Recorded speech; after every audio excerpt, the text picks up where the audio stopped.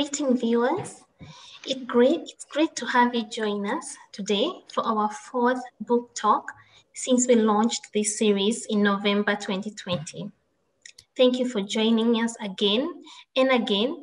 And for the first time viewers, we promise you that you will not regret spending this time with us. It will be both intriguing and eye-opening. Today we discuss The House of Stone with author Dr. Novuyo Rosa Tshuma. This webinar will be recorded and can be accessed on our YouTube page as well as on our website under videos in the coming week. As we proceed, you're welcome to submit your questions using the Q&A feature at the bottom of your screen. The moderator will address your questions at the, at the end of our session today Do you like what we do?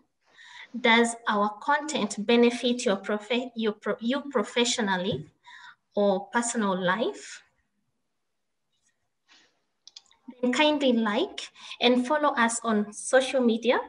Take a minute to like our videos on our YouTube page so that we can reach as many people as possible.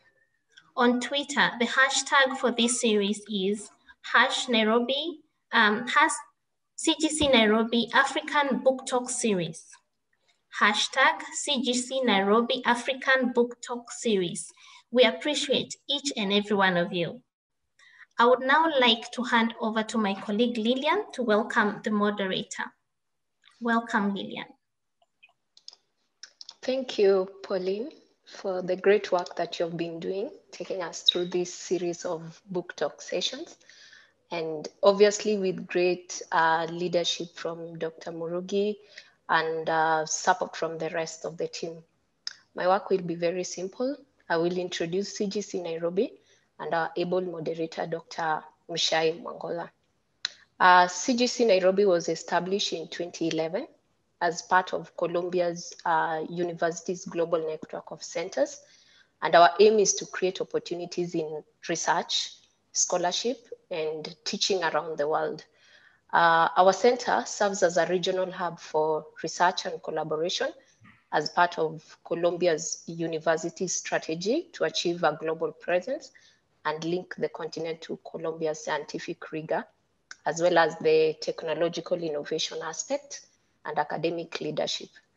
It's a member of uh, Columbia Global Center Networks, uh, amongst other eight operating in Amman Beijing, Mumbai, Paris, Istanbul, and Santiago. And our programs at CGC Nairobi um, are under three components, education, research, and public engagement. We focus on five um, major projects, business empowerment, creative and liberal arts, where this um, work uh, falls under, education and knowledge, health initiatives, refugees, and migration. And without further ado, I'll quickly move to the next agenda, and that is to introduce our able um, moderator, Dr. Mshai Mwangola. Dr. Mshai is a performance scholar who uses the lens of culture in her work as an academic, as well as an artist and an activist. Um, she holds a doctorate in performance studies from Northwestern University, USA, as well as a master's in creative arts from the University of Melbourne and a Bachelor of Education from Kenyatta University. Uh, she also chairs the board of Raya Trust, and uh, she's also an executive committee member of CODESRIA. She's done some work on um, um, intellectual collectives in under the Elephant and or, Oricha Collective. Currently, she co-facilitates the monthly Point Zero book, book Cafe, which um, features public performance and conversations around literature.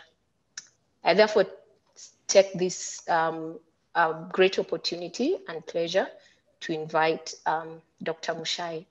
Dr. Mshai, kindly take over from here. Welcome, Dr.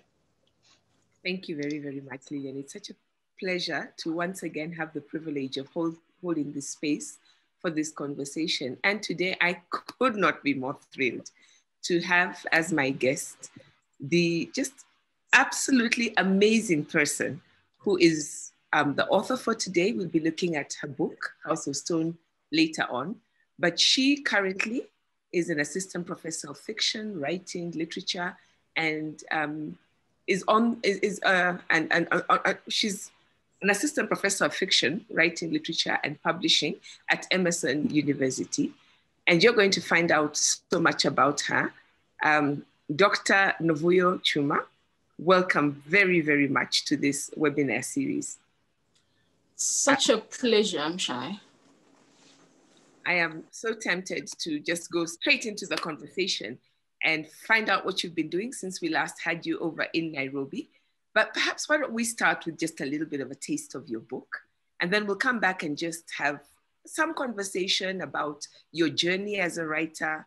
Um, I have I have thoroughly enjoyed traveling that journey in the last few weeks as I began to look at what your inspirations were, what else you have written.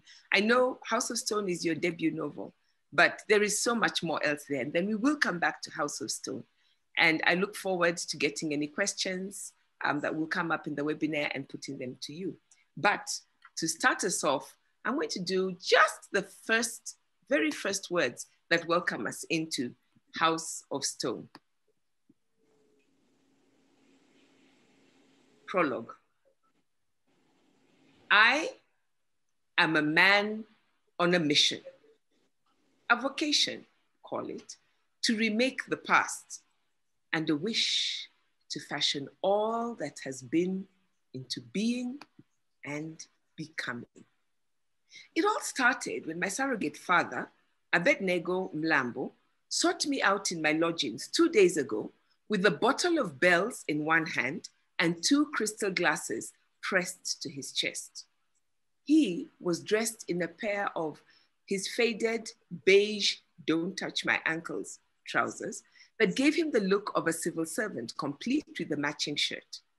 He held the crystal glasses in place with his chin, one balanced atop the other, the bottom glass clasped between the thumb and forefinger of the hand clutching the Bell's, the top glass muzzling his mouth so that his voice reached me as though a daydream, as he said, raising his free hand and slapping my back, that he appreciated how I had taken his son, Bukhosi, under my wing, playing big brother, and that I was like a son to him. And he would, from then on, call me his surrogate son.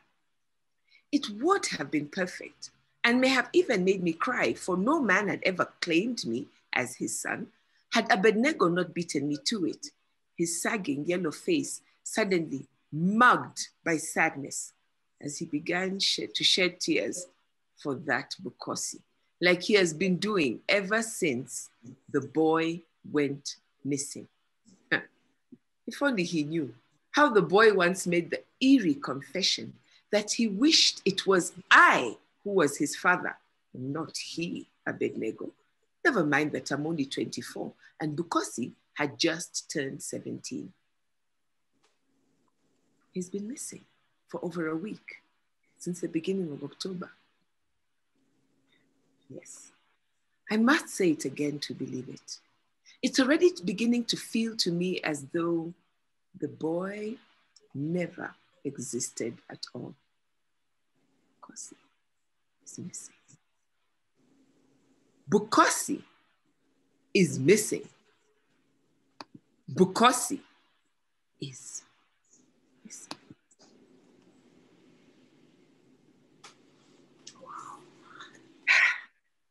And for the rest of the book, Novuyo, you're going to take us on a journey trying to figure out what happened to Bukhosi. What an amazing beginning. I I was just thinking about how this how this story how you begin this story, and I'm a storyteller, and one of the things that really struck me about the way you begin this story is that we literally start with a storyteller telling us a story that another storyteller is going to tell them. And then halfway through the book, we get a third storyteller. So there are all these storytellers telling stories, and it is such a delicious premise um, for a book. And I, I just wanted to say, just wanted to say to you at the very beginning, what, what, what took you to this? What, what, what brought us into this wonderful world of storytelling that then takes us into this amazing journey? Oh, first of all, thank you so much. As you were reading the book, actually saw it come to life. You're such a wonderful um, orator, um, Shai. Um, such a pleasure. Um, I wish they'd made you the reader for the audiobook version of this book. I wouldn't get the accent right. um, the reader does not get the accent right either. It's an American reader. It's really horrible. Oh. Um, so, so this notion of storytellers, it actually came because in order to try and access this history, I had to interview family members. I had conversations, difficult conversations with my own mother, with my uncles, um, and then because this history, um, a lot of this history is not our mainstream history. It's not in our history books. It's not talked about. That was the way to access those histories. So that's literally how I started this book by asking others to share their stories with me. And that informed then how I wrote it. Um, and that for me was also to say this is also a valid way of, of telling our histories, right? These stories um, outside of these formal notions of what history is. Mm-hmm and and and okay so one thing that really strikes me is that in a way this book collects a lot of the work that you've been doing. And i'm really glad that you emphasize this that this is this is something that comes from your life. It is stories that people tell. And in the end it is a book about the stories that we tell each other that may or may not be in the official history. And even when it's in the official history we bring our own perspectives and and um, sometimes you know there are people who get ignored they get erased and you bring them to the to the forefront. And this isn't just something you do in this book. This is something that i find you, you do again and again in all of your work. So why don't we just talk a little bit about your journey? I know that uh, you started out uh, not as a writer but studying economics and finance at, at, at Wits and one of the things that really, really struck me, and I, I, was very interested to find this out, was that you were sitting in the same class with Panashe Chigumadzi. And I would love to know what was going on in that class because we'll talk a little bit about this later. But you guys seem to have been having some really interesting conversations because you end up with your books uh, being in conversation. But then you went on and you did a master's in creative writing at Iowa. And this is where this book comes from. And then later on, you did your PhD in literature and creative writing. This journey from studying economics and finance and then to literature and creative writing, like what happened? oh, I see you've really been in, in, in my archives, Shai. Pana- yes, Panashe and I were in the same economics class, and neither of us knew that the other yearned to, to be a writer um, and we bumped into each other and we became friends. Um, and then my book Shadows came out. And then it's, it's only later that I discovered, oh, she was also passionate about literature. And just as, as it's been so interesting that in, in sickness, so this, this interest in history um, from these different angles, because again, we had not discussed our projects when House of Stone came out and These Bones Will Rise Again. And then it was delightful to connect after so many years and discover that these books, these works are in conversation. Um, so really, really lovely intellectual work. So yes, economics. I, I actually started with um, architecture in Zimbabwe for one semester, aka architecture. I, I so I, I, was trying to. I've been trying to escape into writing for a long time, um, and then I, I, left that and because I wanted to write, and of course I'm in Zimbabwe. You know that, that didn't make sense. So I started again, and I studied economics, and this time I finished the degree. Um, but at that, that time, I knew again that uh, really writing was my passion. And um, there are many authors and writers who helped me along the way. Um, chiefly among them, NoViolet Bulawayo. We were just talking online. We'd never met. And then she's the one who encouraged me to try and apply for writing programs in the USA. Um, so I kept bothering her that, you know, I want to write and it's so, and I don't know how to do it. And I'm stuck, I'm in the wrong career path. So that was the journey. I applied for creative writing programs and I was fortunate enough to, to get into the Iowa Writers Workshop. And then from then on, I followed this writing journey. Um, so it's, it's been, you know, incremental. And at the time when I moved to Iowa City in 2013, I had a draft of House of Stone, a rough draft of the book. And so it was the project that I, I was working on it and really, really wanted um, to focus on and to have in the world. And, and and one of the things I know it sounds like you took a very long time writing the book because um, you did a lot of short um, story fiction, and then you took the time out and really worked on this on this novel that took very long. But one of the things that, um, as I look at your work, I, I cannot help but think about the attention you pay to the craft of writing. You're very very particular because I, I perform literature, and one of the things I love to do is to read aloud the books I'm reading. And some read some books, you know, you read it and then you know it's like, okay, very quickly you go back to reading it inside your head. But your book is a book that is such a delight in reading. Even when you're, you know, there's a part in the book where you talk about um, these part, these bones that are found, and you name each bone. But it feels very poetic about the way that you do it. So that even as, I'm, as, as I was reading it, that was a part I had to stop and read aloud. And you really pay attention to language and craft. Having done a master's in creative writing, why the PhD? most people, because I'm an African and we take our education seriously. They don't yeah. play with us. Um, so um, the master's really it was in, in creative writing, whereas the PhD was in literature and creative writing. So um, I was really interested in that juxtaposition, bringing literature, that um, intellectual rigor.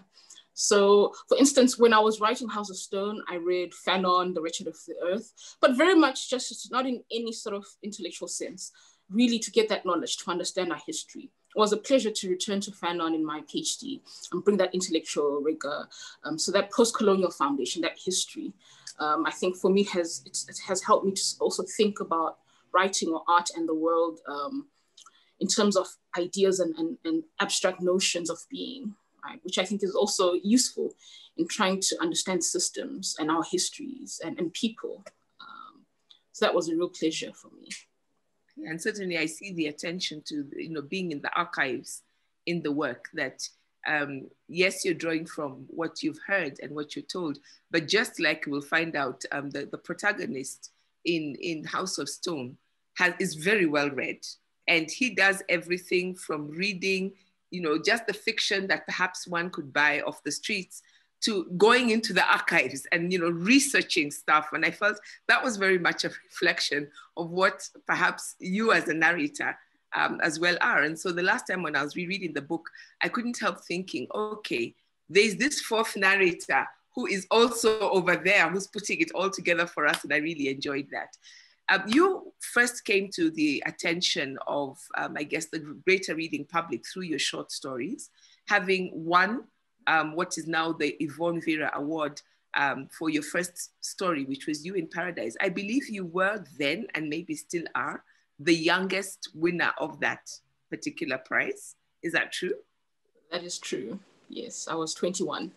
Okay, and I must say that when I read that, I thought, oh, okay, she was very young, so it must have been a nice, fluffy story. And then I went to the Reddit and I thought, wow, this is such a mature story.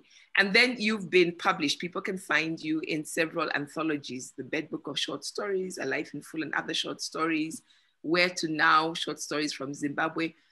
And most recently, at least as far as I have found, you've, you're, you're, you're, you're in an anthology on refugee writers, um, which is called The Displaced. Um, that's edited by the Pulitzer Prize winning author, Viet Thanh Nguyen.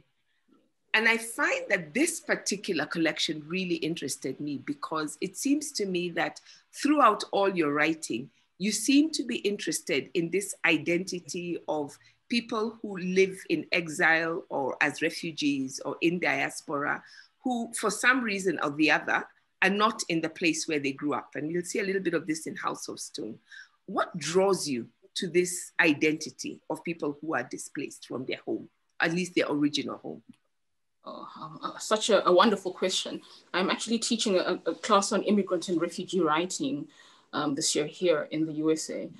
Um, you know, so so when you mentioned that that essay in Viet Thanh Nguyen's um, anthology, it's it's one of the most I think personal things I've written. I was for a brief time undocumented in South Africa, brief time, and it's something I never talk about um, because again, one, one feels responsibility um, or shame.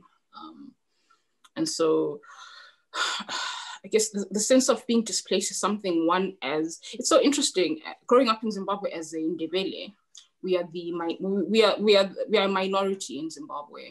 Um, so the, the Shona ethnicity makes up about 80, 80 something percent. We're about 18 percent. Then the remaining two percent percent are the other minorities.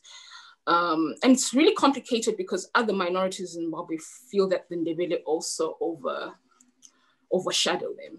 Uh, but because of Zimbabwe's very fraught history, the Gukurahundi, as the Ndebele, just growing up in Matabeleland, there was always this sense that one does not belong in Zimbabwe. So really a detached and disinterest and a feeling left out of the country. So that, and that's something you grew up with, you don't think about, but that became very, very stark and, and uh, important to me when we moved to South Africa. And then we became real, real exiles, real, really displaced people, Zimbabweans you know, which, which was the worst uh, insult one could pay in South Africa because people start projecting what they see on TV on you.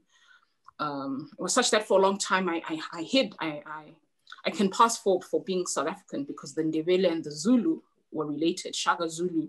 Um, Mzilikazi broke away from Shaka Zulu and moved into what's now Zimbabwe. So for a long time I latched onto that. Unless um, someone asked, I would never tell them that I was from Zimbabwe. Um, and so that was a real sense of displacement. And I found myself yearning for home. But then which home? Because I'd never felt at home at home. So, so even the sense of home became this sort of utopic or mythic sense. And that has, I think, subconsciously driven my writing. And you capture a lot of that in that You in Paradise, because again, this is this young woman. And I, one of the things that really struck me was when, um, you know, what you said about so many of us who we may hold the citizenship of one country, but if you belong to the border communities, you could very much easily go to the next country, or you know, and often you could pass.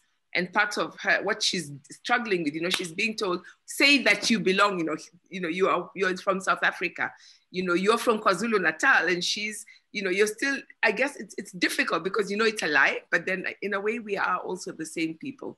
I, I just find that really interesting. And I should mention that you are an editor of Bare Life Review, which publishes immigrant and refugee writers. And I think th- that connection that you draw, that to be in exile, to be a refugee, even if it's an economic refugee, to be a new immigrant is automatically to be a minority and a minority whose stories often don't matter in terms of the larger narrative of the nation where you are. And so, even for people who are there legally and have the papers, it's always this uncomfortable um, place to be. You were published in uh, 2014, um, the first with your first uh, collection. I hope there will be many more. It is an anthology of stories that was called Shadows. I was mentioning to you, I feel that You in Paradise is somewhat a foreshadowing of the title novella and this really brought you again back to attention because it won the 2014 Herman Charles Bosman Prize. It was longlisted for the 2014 Etisalat Prize for Literature. We have seen you coming for a long time with all these prizes. Could you tell us just a little bit about Shadows? What, what, what was at least that title novella about? Oh, Shadows. Yo. Again, Shadows was about, um, it's about Zimbabwean migrants, Zimbabweans living in Zimbabwe, Zimbabweans living in South Africa. Really, it was it was it came in a rush, and, and I remember I wrote it in a, in a rush, the first draft, because it just came, and it's about again what you'd call displaced people, and not even just in the geographical sense, even displaced within one's community. Mpho an artist um, was trying to make a living in Zimbabwe amid the chaos, um, and then his girlfriend Nomsa flees to um, Egoli, City of Gold, Johannesburg, and he follows her. Um, and it's about those dreams. Um, and then there's an eerie section there where, where Mpho is being interviewed by a CIO officer. Um, and it, it, it's eerie because a few years after Shadows was written, I I, I saw a, a, news report about a similar sort of incident that was ha- things that was happening in Zimbabwe. But then these are things we also grew up hearing about in Zimbabwe. You know that if you get taken by the CIO, this is what happens. CIO would be the uh, Central Intelligence. It's uh, office like CIA, like the USA CIA. That sort of and they would, you know, they're known for grabbing people. Why you're like, I know what you're talking about. would call it CID. Okay. Oh, wow. And then this is um, I think one of the things that you just do so well is to capture what that sense is. I'm also interested in, and I, I wish I could talk a little bit more about this, but just very quickly, you've done a lot of nonfiction. A lot of it is about Zimbabwe. Um, but then you've also done, and I really was interested about how you write about writing, how you, you, you really are somebody who's genuinely interested in other writers' work. Sometimes, you know, you read a writer, and yes, I can tell they read, but it, it doesn't seem to, they mm-hmm. don't seem to be as much in conversation with writers in their work as you seem to be. And you do a lot of that in fiction. I absolutely love the way you can you can encapsulate in a few lines your thoughts about a book. So, you know, a lot of people will do summaries, but what I enjoy about reading, and any, if anybody just Googles, you know, your, your best of 2020, or just looking at how you write about other writers or talk about other writers, um, you have a way of getting to this is what I love about their writing. And then when I look at that, I see echoes of that in your book one of the things, and i will start before, you know, we'll go a little bit to House of Stone and then I'll come back. I saw that House of Stone won the 2019 Edward Stanford Travel Writing Award. I thought, how is House of Stone travel writing? That one really blew me away. so I went to look for that. And your acceptance speech, when you talked about, um, and you can tell us why you won it, but one of the things I absolutely loved in your acceptance speech you were so generous with talking about here are all these other writers who I want to give shout outs to. And this is what I love about their writing that I just, I fell in love with you all over again on the spot. But just tell me, how did you win a travel writing award for House of Stone? What was this for? I have to ask the judges. really, what they, uh, uh, according to them, it was the sense of place, I guess, that the reader, when they in the book, they will travel to these places and that there's a specificity. And, and, and so, um, whether it's in uh, the Bhalagwe concentration camp or Zimbabwe in 1984, the city Bulawayo. So that was an interesting uh, sort of idea about what travel writing or what traveling is in, in, in a work of fiction or in, in, in writing. Yeah. I was as surprised as you. I was like, really? Okay. You know, I was thinking about this. Um, Nanjala Nyabola's got a book where she talks about traveling while black, and she talks about this thing of as an African going to another African uh, somewhere else in Africa. And okay, she's talking about it of how often do we visit, but also about the fact that we often don't see the world through our own eyes for ourselves. So a lot of travel writing about Africa is for others. It's for the outside looking in. And, and when I saw that you got it for a place, you know, for being able to capture the essence of the place, this last time when I was reading the book, I really read it for that sense of place and some of my favorite passages. For example, there's a place where this young man is shadowing this woman whom he just falls in. It was literally love at first sight. He sees her and he's following her. And many writers would just say, you know, he followed her from this place to that place. But you literally take us on a walk with him um, over that place. And for me, that was one of the most beautiful passages in the book. And so, yes, I absolutely understand why they gave you that award. And perhaps now I'm already beginning to talk about House of Stone. Why don't you give me a reading from House of Stone? Fantastic. Thank you, Mshai. Mshai. I'm going to read just for two minutes, two to, two to three minutes. Um, and so I'm going to read from the chapter titled The Prayer Meeting. So this is the UK version of the book, the paperback. Um, and at this point, so when, when Mshai started reading, Zamani has decided that he's the Mlambo surrogate son and Bukhosi is missing. Here, when we get to the prayer meeting, Bukhosi is still missing, and Zamani is trying to inch himself into the family. Right? He's feeling very possessive of Mama Agnes. Um, so I'm going to start reading. I heard Mama Agnes when I crept in to use the loo, telling my surrogate father, Abednego, that the Reverend Pastor Reuben is coming this evening to pray for Bukhosi and that the ladies of the church will be accompanying him.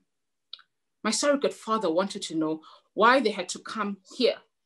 And my surrogate mother replied, I imagine pointing to her face because um, Abednego beat up Mama Agnes, that as she can't go to the Reverend Pastor at the moment, the Reverend Pastor is coming to her. This shut him up. At the appointed hour, with the knock on the door and a procession of neighbors, we gather in the Mlambo living room. Myself, Mama Agnes, the Reverend Pastor, the ladies of the church, and all of them Mlambo's neighbors and friends who have come to pray for Bukhosi. My surrogate father, as to be expected, has slinked off on his lonely late night searches. Doesn't Mama Agnes wonder where he goes to? Does she know? I doubt it. She's probably just relieved that he is out of the house. I look around at the congregation and marvel at how everyone has pulled together in a mass effort to find Bukhosi. He is loved. I wonder if there's anyone who would care today if I went missing. I can't see Mama Agnes and I suddenly feel panicked, but then I spot her turned away from me, away from the frisky bulb light and hovering instead in the murkiest of shadows, right by the Reverend Pastor's crotch. For she's on her knees, her pillowy frame gathered in ruffled becomingness, in a floral green velvet colored dress, which matches the doek on her head. Her divine countenance bob bobs next to the Reverend Pastor's trousers, which, because Canali suits are made to measure, bulges rather obscenely in the shape of a banana lying flat against his right thigh. He keeps bringing her face dangerously close to his banana, rattling Satan out of her head with his huge paw and shouting, Can I get a hallelujah? The neighbors give him a hallelujah. Can I get an amen? How many more? He's a famous man, that Reverend Pastor, scandalously famous. For the past months, he's been making the front news of the independent papers, which has been happening more frequently what with the presidential elections next year. He's been writing sermonic articles in which he pleads with the current government to step down, to leave the job of running a country to better suited scoundrels, even praying in one article for God to intervene, to send a flood, to send a plague, to send the UN troops, to send America to invade us like they did Iraq and Afghanistan, to show who is God. I'll stop there. Thank you for that. And one of the wonderful things about that passage is it brings in the humor that runs through the entire book. And I think that you do that so well because let's be honest, House of Stone is not an easy read all through, in the sense that you take us through some really, really um, deeply disturbing events. And you you do not want to, you don't gloss over them. You you take your time in in taking us through this is what happened and you need to know that it happened like this but then what keeps one going is that especially the, the, the protagonist who is amani whose, whose voice we are hearing he will be observing a scene and he's got he's got such a wicked sense of humor that you can't help laughing even as you know you go through a really gruesome experience and then you know something happens or there's a turn of phrase and you just you just shake your head and start laughing. And, and i think that passage captures that so well. Thank you for that. Um, house of stone. Why why house of stone? What, what's the title about?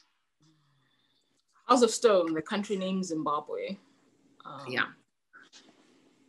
And it, it was it's very interesting this idea of refugee and being in exile. It, it really for me was a desire to to learn our history but also then to tell those histories that are not part of the mainstream history. Um, because zimbabwe has you know we have our, our liberation movements are very very um, suspicious of, of, of history and they history is something that's control, controlled tightly controlled in a space like zimbabwe. So I grew up in a space where people, interestingly, Zimbabweans, we didn't really talk about our past. Um, you'd have lovely stories about, you know, my grandfather tells you growing up, as, you know, in, in the in the Bundu, in the rural areas, my mother stays in school, very lovely, happy memories, but we never actually spoke about the difficult things. Um, and they manifest maybe as prejudice. You know, I grew up with my uncles despising the Shona, for instance, you know, that sort of ethnic, and, and it's something I never understood until I started asking them about Gukurahundi. Um, so the, the, title was a direct sort of um, jab or um, reference to Zimbabwe to say this is a history of Zimbabwe. It's part of that. And history also in terms of stories, right? So, so that was also important, history as stories, the stories we tell ourselves. Um, so this is a book maybe that simulates conversations that we, that I did not hear um, growing up about things that were maybe too difficult to talk about. And what I think is a really brilliant. I mean, House of Stone, those who know that the name Zimbabwe, that's literally what that refers to. Uh, but that you also, it is also about a literal house of stone. Um, this is taking place in a house, and there is um, the protagonist who starts out by living in the little room out at the back, which is rented. And the entire book is about him wanting to come in and yet, you know, and then there's Bukhosi, whom we met right at the beginning, who is a son, a proper son. He's not the surrogate son, he's a proper son. He has a room in the house, he's welcomed in the house. And through it all, Bukhosi is, is struggling with the history of the family. So you're both talking about the history of Zimbabwe and and people, you know, younger people in particular, you know, wanting to know the history of the country, which is what we we find out these younger, the younger generation doing, but you're also talking about this literal house. I just found that as a metaphor to be so, so powerful. And yes, thank you for that. And that I think is something you do very well in the book. There are all these metaphors that you put in and you allude to. Um, there's a particular brilliant passage, I think, where a sermon is going on. And as the sermon is going on, it's taking you further um, into what is happening in the person's story. And the way you weave those together is just absolutely beautiful. Um, I want to talk about history and story, but you mentioned this word, Gukurahundi. It's in the middle of the book. You can't get away from it, even though the whole book is not about this. It's, it's right at the center of the book. What is it? What does it signify? And why is it so important? Yo, Gukurahundi. Uh-huh. So it's, it's a Shon term, the, the chaff that washes away the, it's the early rains that washes away the chaff before the spring rains, right? Um, so it's, it's, it's, I think it's just important to just give that brief etymology. The word used to sig sig signify joy, harvest, right? Very pleasurable, positive term in, Shona, in the Shona language until the early 80s, where it was used to talk about a, government sponsored, with the help of North Korea, operation um, to according to the government, weed out dissidents in Matabeleland. Um, and in the process, um, the, it's, it's like 20,000, the, the, current number is 20,000, um, but they, they debate about that. 20,000 civilians were massacred. Um, and so for me, it's in trying to deal with this, this, this word, I wasn't interested in the facts because the facts we keep debating and arguing about the facts. Zimbabweans are good at that, but no one is actually talking about the experience. So I was very interested for me in the experience of it. Um, especially because, and what that, and where that came from was talking to my own family, my own mother. She was happy to tell me about the Liberation War history. Then when I asked about the Gukurahundi, I saw her tense. She froze. She would not talk about it at first.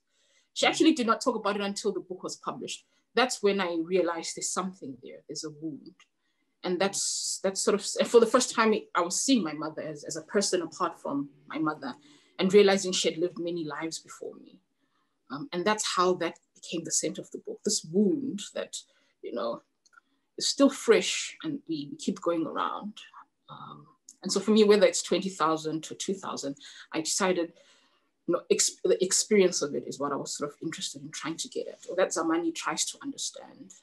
Um, and I think that's what's so important is that it's not just about, you know, the events, because we can all argue about events, but at the end of the day, you're saying these events happened to real people.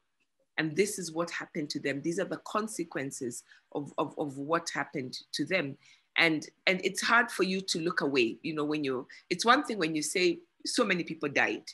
It's another thing when we look at a person and a family and somebody says this happened to my brother or to my wife or to my child and this was the effect. And you see how these people live with the effects of this history. Um, the word that kept coming to my mind when you were you were when i was reading it um, was this idea of trauma and how we often gloss over, you know, as long as I survive, it's like, you know, be happy you survived. And in Kenya, we have the phrase accept and move on. And let's just move on and create a better future. And what I think you bring to life is that people live with these histories. And even when, you know, as you said, children may not know what their parents went through, but it comes through in the way their parents interact with them in terms of the silences. And one of the really poignant parts is that this young man, Bukhosi, is when he, he wants to know, and his parents just can't bring themselves to tell this story. I think that's just so really powerful. I think the other thing that you do really well is to bring um, to life the fact that we have many different stories and very many different histories, even when we share one country. Um, I think it's Stuart Hill. Um, Stuart Hall talks about the narrative of a nation, and then he says, you know, what? first of all, you all have to embrace the official narrative, and in your book, there's so much rebellion against that. But secondly, it is the official narrative of the people. There are people who are centered as these are the people who matter. And your question is, what happens to everybody else in this in this narrative? And I find that really, really powerful. Wow, so so beautifully put, Mshai. Um, because in Zimbabwe, the thing I don't know if Kenya suffers from the same thing. If you do not fight in the liberation war, you are a nobody. Literally, that's that's how, you know, those who sacrifice for the country matter. The rest of us, it's not it's not your country, basically. Mm, mm, mm. I, I, just want to bring in uh, somebody's asking Shirley uh, Chikukwa is asked says in shaping the scholarly side of you, you mentioned Fanon and really being able to understand and capture not only Zimbabwean history, but a broader, I think, decolonized discourse. So this is the question, why fiction as the medium for communicating that history? Do you find that there's room in an academic sense to capture these experiences? And she's specifically speaking as a Zimbabwean who finds that fiction has been able to capture experience in a way that history has not been able to do. So she's asking, in connection with that, do you think there is a way to translate this discourse of experience into an academic sense that can inform our understanding and reading of history? Especially because you talked about experience. How do we translate that into these histories? Because Zimbabwe has got many historians who've talked about Zimbabwe's history. Wow, that's a beautiful question. Yes. Um, thank you, Shirley. You know, as she was talking, I was I was thinking some of my research for House of Stone was reading um, PhD theses, mostly South African universities. You know, you can find them online. Um, and these were done on trauma, on and specifically Gukurahundi Matabeleland, um, um, trauma communities, how communities are trying to heal and what's happening in terms of trying to address Gukurahundi at a communal level, talking to those who were there at the time or war veterans, and so it's interesting. There's actually, I think there's there, there's some great academic work that's just not, for some reason, it's not in the mainstream. It's not published, or it's it's it's just there.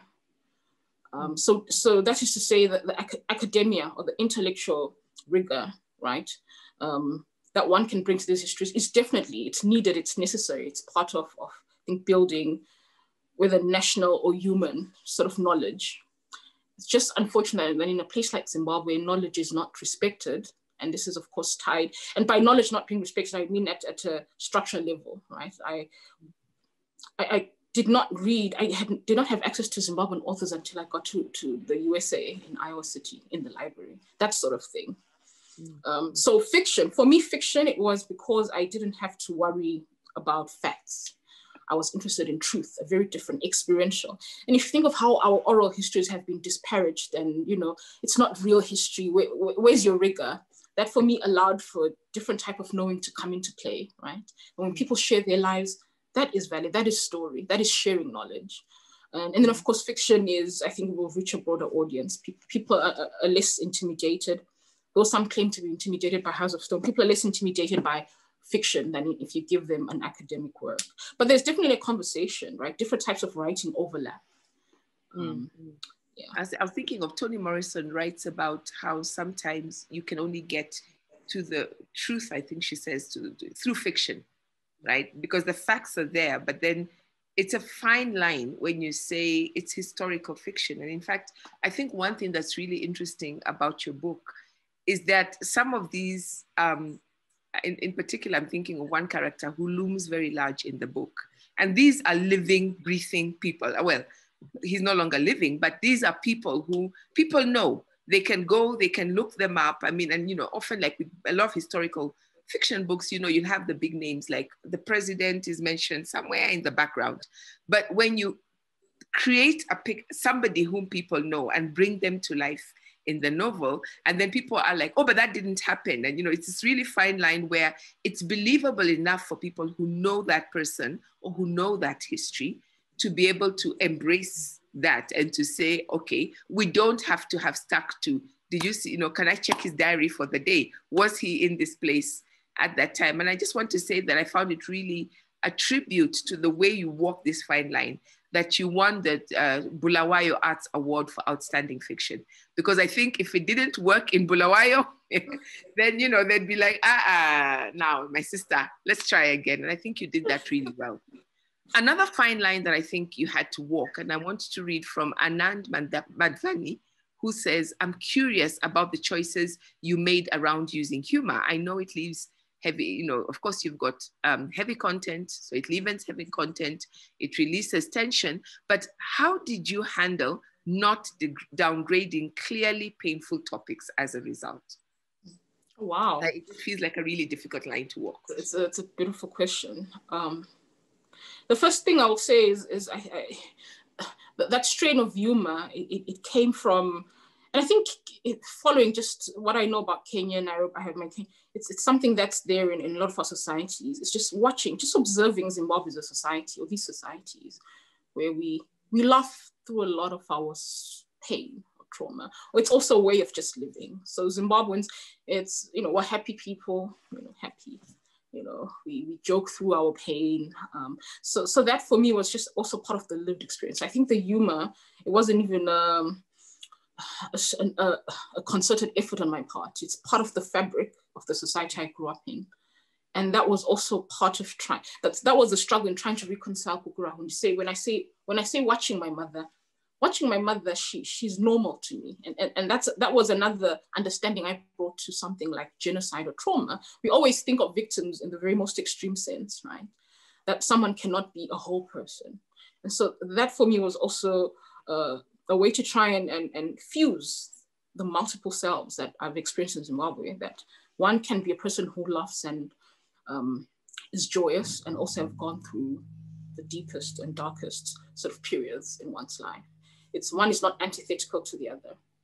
Um, it was also important for me not to have my characters also, which is a very Western, you know, sort of thing, to be defined by that one trauma, right? Yeah, um, yeah yeah. that yeah. in, in all your 50 years this this one thing has happened and it's encapsulates everything that you are because i don't think that's true that's true that's true of the human experience in its in its breadth right um, mm-hmm. and so that was that was sort of the thing i don't think i would have been able to bear also as an author to write such a book if there was no levity or humor or even joy it would have been uh, very depressing um, and then very not true to the spirit of, of zimbabwe or the people or people in general yeah. One of my favorite characters, and I think for everybody, there's a, there's a character called Tandy, who all sorts of things happen to. But one of the things I love about her is she goes through a lot, including having to be in a refugee camp for several years during um, as the liberation war is going on. And you'd think when you next see her, she'll be completely beaten by down by this experience. Her dreams that she once had have all died. And she she emerges as a really strong woman. you know, she goes off into a, a, a place, I won't give this away, but a place where she'd been before and had been very depressed. And you know, she's there and she's pulled herself together and she's doing amazing, wonderful things. And I think that's true. You know, it's that thing of you say one experience doesn't define us, it shapes us, it influences us, but we also, and this is not to say that it's one, you know, it's, it's great when bad things happen, but that that's not all that people's lives shrink down into. They're able to do and keep doing other things as well. I wanted, I, I want to make sure that I say this and do this, but one of the things I told you this I loved about the book is that you tell, so there's book one and book two, and then they're the bookends. And one of the things I absolutely love is that a lot of these stories that have to do with war, that have to, especially liberation wars, um, genocide, um, and you know, right at the beginning when you start, I was a little bit afraid because it seems to be such a male story. And then right in the middle of the book, literally, you shift to book two. I remember when I first read it, and I, I said this to you, I said, wow, that's amazing. It's literal. And the first lines that uh, are said there is, what kind of family history would it be anyway that chronicles the surrogate father without also ushering forth the voice of the surrogate mother. And one thing you beautifully do is throughout show us why both of these are important. And, and this is why I brought in Panashe earlier on, is that I read your book and then I read Panashe and I was like, oh my God, it's like these two were sitting and talking to each other and then reflecting. And I don't want to talk about what Panashe was doing, but why for you was it so important that book one, right, was not, was just, that wasn't enough. That wasn't mm-hmm. enough to tell us there's the official history and then this is a personal history. Why did we need book two? Oh, beautiful question. Um, if I think if you know, um, Abednego's history is, is very um, it's entwined in very um, direct ways with the national with the national history. And, and so in Zimbabwe, we're very patriarchal, the big man syndrome, right? National history, fathers and sons were, were very much interested in, in the male. And then uh, Mama Agnes's stories, um, for me, they, they, they feel I don't want to say nuanced. It's it's it's because she's also a woman who has, has had her own dreams, but they're different type of relationship with the nation. Not so much interested in the nation in that very aggressive way, right? But very interested also in the self and in community. Um, and so for me, it would it would not have been a complete story if if if there was only just that one sort of patriarchal national narrative. Um, especially thinking of the many women, if, if you read our history, so many women um, contributed in various ways to the liberation struggle and to liberation, and and and they're not recognized. So Their contributions are not, and this doesn't even have to be even in sort of very valiant way. The women who stayed behind, who cooked, you know, who who looked after the sons. Um, who had gone away, um, who, who kept the, the nation together, who forfeited their own dreams, right? Mm-hmm. Um, and, and so that for me was also as important. Um, mm. yeah and indeed, when we start the story and you heard the first two minutes of it, it's very much a male story. And even if you keep reading a bit longer, Mama Agnes is in the background. Uh, so, so basically, in this house of stone, I said, you know, you have Zamani, who is the protagonist, who's the guy who comes in, and then the two families, and you meet the father and the mother. And the mother seems to be in the background doing what women do support their men. But the book two is actually when the son goes, or the surrogate son, or the son was trying to become a surrogate son, having heard his father's story, then goes and finds out what, what what's what's the story of the mother. And I love that at the end, it's both father and mother together that he's standing there. And then you as a narrator, I said, okay, but then the narrator was male. And then in the book that I have, you come and do your acknowledgements at the end. And I felt it was you as a female narrator say, yes, you heard the male narrator, but don't forget, I'm really, I'm really the one who is behind. I also love that when you do the history, I had never heard of the queen. Oh. You know, the Ndebele queen. And do you mm-hmm. want to say a little bit more about that? I just thought that was so powerful because when we hear the stories of our own, um, the, the nations that were there before colonialism, again, it's very often through the stories of the men and I was like, what? Wait, there was a, a, queen and the king had to flee. And what? And actually went and looked her up. I thought you'd made her up. And no, you hadn't. that was, see, that was why for me discovering our history was such a pleasure. You, you get these, it's, it's, it comes alive. It's so interesting. So Queen Lozike, uh, the Ndebele, they call her the Ndebele king, right? Ndebele, because she was very powerful. She was King Lobengula's senior wife. And then in the 1890s, um, when Cecil, when the, the, the Rhodes and his company came and they were trying to take over Matabeleland, King Lobengula had to flee. And, and the whole thing was that the, the king would flee, then would return after a while, and, and Lobengula never returned. So in his absence, Queen Lozike stepped in, and she was a formidable queen. She'd go and meet Rhodes, she'd negotiate, on, on behalf of her people. She, she you know, she, so she, so her, her story is so fascinating. And it's a story that's not often told. It's something I did not know growing up in Zimbabwe. Whereas imagine we know Mbuya Nehanda, right? So that's where the politics of Zimbabwe is like. Mbuya Nehanda is there, there's a national holiday to commemorate her. She's known as having led the first Chimurenga. That first Chimurenga is known as the War of the Red Eggs in Ndebele, right? Same war, right? We say Mbuya Nehanda led the Shona ethnicity in that war, Queen Lozike led the Ndebeles, right? But in our history, we only acknowledge Handa, right, in the national history. So those politics. So for me, it was a delight and also questions, why do we not learn about this at school? Why am I finding out about this in this way? Mm-hmm. It takes us back to the question of history that we were talking about. And so what do we do? And, and I don't think I'm, you know, the, the way you foreground that yes, we have the majority, and the majority may have a history, whether it is um, you know, a gendered majority, an ethnic majority, a racial majority. And I think this is echoing right across the world, a political majority, but that the minority must also have a place and their stories must be told and their wounds are the wounds of the nation. And so I guess my question to you is, how do we bring these in um, what do we do with them? Because the wounds are so deep and and you know I, I, there's often this thing of if we go there this is going to split our unity uh, which is the fear even of people who say don't don't don't don't let's just leave it alone. Mm-hmm. what do we do with this? Because your book left me with that question. Yes. Okay so then now we know. What do we do with this it's, it's such a heavy question it's such a difficult question um, and i don't think there are easy answers in practice. So, so you know, so so thinking of Zimbabwe, just this idea of the wounded minority.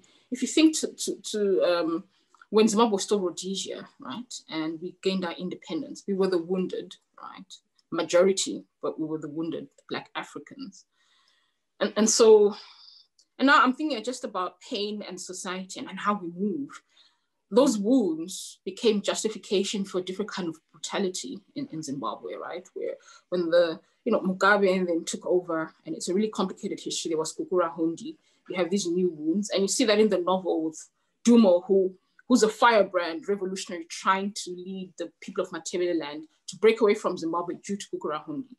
And so that sort of question is difficult because there's a way in which you can replicate in which wounds can become weapons to replicate new forms of oppression, right? And I think in the end, there's that question where Zamani says he's no longer sure what Dumo's doing, right? What started as a cause, Dumo seems to be, you know, he seems to be trying to be the next Mugabe in a sense, right? Mm-hmm. Um, and so that's the sort of, uh, and that's why there are no easy answers here. It's, it's, it's, there's in Zimbabwe right now, there's just so much suspicion right? When someone talks about Gukurahundi, the question is, who, who are you? Is this a weapon? Is this, and, and it's, so it's, it's, it's, large, it's symptomatic of just a larger social structure that, that we inherited from colonialism, right? But beyond that, beyond that, I think my, my one thing is center the victims. And in that sense, which is, which is why experience for me became more important, which is whether it's 20,000 or 2,000, moving on and forgetting doesn't, doesn't help center these experiences, right? These, these people, honor them, which is giving them the help they need, space to tell their stories, to have their stories acknowledged. In Zimbabwe, that didn't happen, right? After, when there was the Unity Accord, that very fear it will um, split the country, the victims did not get that unity. They, literally, they were told to pretend as though what they went through had not happened, right? So you had people who were, you know, they would have nightmares, they, they could not function, and they could not say why, and there was no remedy. So that that is the, the real tragedy in that sense, right? yeah, and I asked that question because I don't like asking writers to solve the problems of society.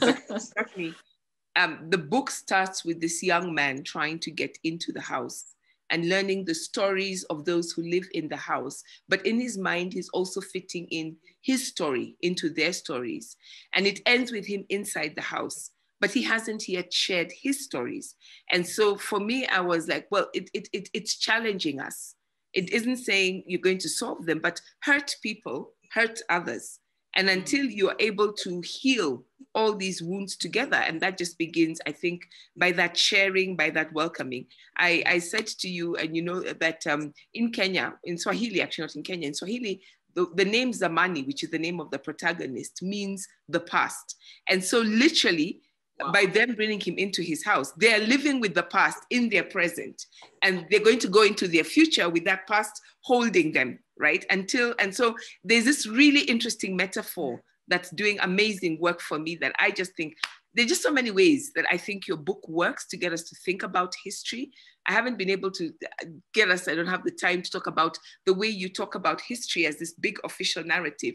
But then there is the he hyphen story, which reminds us, I think, and you can correct me on this, that you also have the personal stories. You have the little stories within the larger stories. And then that these are stories. So also um, their perspectives, their people's understanding of where they're coming from. And I think for every one of us, whether we are Zimbabweans or wherever we are in the world, when we look at our own nations, this thing of the past living with us in the present and becoming part of our future and, and all that it carries with that is really so much a part of who we are. And I, I don't know what you think about all of that, but would you like to give me a comment um, I will ask if you wanted to do a last reading before I, I close, before we close. Thank you so much, Shai. I'm, I'm just going to add, as you were talking, I was nodding because if you notice the, the, the story, and stories are fascinating because they go in tangents. I noticed if you ask people even about the liberation walk around, they tell stories in the sense that you'd find out someone had fallen in love with someone and had run away from the war because to follow someone. So these very beautiful sort of elements, or someone had dreamed to to you know get an education so they ran away from home to go to the city and then they got involved in you know a political group so even the way those stories evolve i think they show that that beauty of of the human spirit right that that as we are living we are struggling in a positive sense too you know um, and it it was it's for me it's it's very important because national history also tends to to, to, to shape people into, you know, your group, your lump, your group. And what's interesting is what happened to you in the larger sense, not your own dreams or what you were trying to do with your life when this event happened, which is a very different relationship to our history and our past. Um, so that was also pleasurable in talking to people. You learn fascinating things about their lives um, in the midst of war. Um, and that, oh, people just like us in Zimbabwe now during, you know, our food shortages, people had dreams, you know, you're not just waiting passively to die. Um, yeah. Mm. And no matter where you look, I mean, I was thinking about this, you know, you listen to the news, whether we're looking at Myanmar or we're looking at the US or we're looking at Uganda or indeed anywhere in the world, the issues that you raise in your book are so, so, yes, it is a very specific story of a specific person in a specific place and a specific country, but it's also what minorities all over the world are struggling with, regardless of what they are. And I really want to thank you, Novuyo, first for writing the book. Um, I want to thank you, Dr. Tshuma, for all the hard work you brought, bringing in the history, weaving it so well, and, and helping us think about how our stories really do matter. Um, we are going to finish by putting up the trailer of your book so that those who haven't had a chance to get a sense of it will get a sense of it. But I want to thank you in the words of some of the participants Florida Rugendo says, I love the description of the events in the story. It brings out the real feeling of the story as if one was physically present in the scene. And I absolutely agree with that. Lillian Olik um, says this is such an impressive book, psychologically, culturally, and historically impressive. And she just loved the discussion uh, Jael Sishanya said it's very, very interesting. And I just want to thank every one of the participants who has joined us, uh, Dr. Novuyo Tshuma for taking time. One last word, should we be looking out for a new book? Is it ah, such, a, such a pleasure. Yes, um, in the next weeks, a uh, few weeks, I'll be announcing, I'll be making an announcement soon.